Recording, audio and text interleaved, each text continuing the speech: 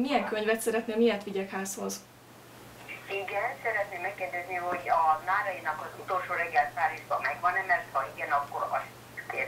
Ö, igen, megvan, és ha jól tudom, akkor bent is van a polcon. Amennyiben valakinek olvasni valóra van szüksége, házhoz viszik a Berta Bulcsú Művelődési Ház és Könyvtár munkatársai. A járvány miatt az intézmény nem látogatható, de telefonon, e-mailben vagy akár messengeren keresztül is lehet könyvet vagy folyóiratot kérni. Március közepén hirdették meg a könyvtár futárszolgálatot. Rógán Edina könyvtáros azt mondja, nagyon népszerű a szolgáltatás. Nagyon meglepődtem, mert azt gondoltam, hogy majd biztos nem mernek az emberek ebbe így belevágni, meg nem szeretnének most éppen ezzel foglalkozni, hiszen ez egy elég ö, ö, kellemetlen helyzet, amiben így került az ország, illetve a világ. Ennek ellenére ott tartunk, hogy a statisztikákat megnézve a kölcsönzéseink ugyanazt a számot mutatják, mint egy, egy normál, ö, ilyenkor jellemző nyitvatartás idején. Úgyhogy nagyon sokan veszik igénybe, majdnem minden nap ír valaki, vagy hív, hogy szeretne kölcsönözni akár újságot, akár könyvet, tehát majdnem minden nap van, hogy vagy házhoz viszünk, vagy pedig tényleg akkor itt jönnek az ajtóhoz, és akkor én kimegyek, odadom, és akkor cserélünk. A visszakapott példányokat könyves karanténba helyezik három-négy napra. A házhoz szállítást elsősorban az idősebbeknek végzik, mások előre megbeszélt időpontban az intézmény ajtajánál is átvehetik a kért könyveket.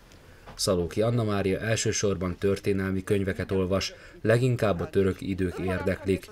Bízik benne, hogy mire kiolvassa a most kapott könyveket, véget ér a járvány. Az asszony nagyon örül, hogy házhoz hozzák neki az olvasni valót. Ez egy nagyon jó lehetőség, ugye oda menni nem lehet, vagy nem ajánlatos, meg zárva is vannak, és hát kitalálták ezt, hogy aki kér könyvet, az annak kihozzák, és ezt nagyon jónak tartom, nem is tudnék menni, mert nemrég volt egy balesetem, és nemrég szedték le a gipszet a lábamról, úgyhogy nekem ez remek, hogy Edina ide elhozza, és akkor nem maradok könyvek nélkül, nem maradok olvasmány nélkül. A könyvtár futár szolgálat mellett egy játékkal is kedveskednek az érdeklődőknek. A Maradj otthon és olvas elnevezésű könyvolvasó maraton lényege, hogy meghatározott idő alatt minél többet kell olvasni, a résztvevők között pedig értékes nyereményeket sorsolnak ki.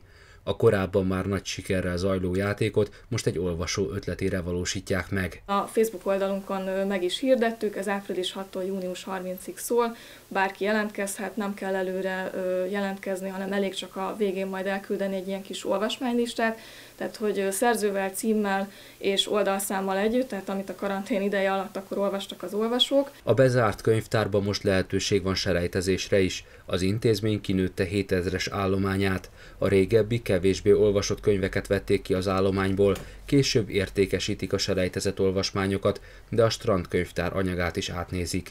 A könyvtárosok bíznak benne, hogy mielőbb kinyithatnak és a bibliotékában fogadhatják majd az olvasókat.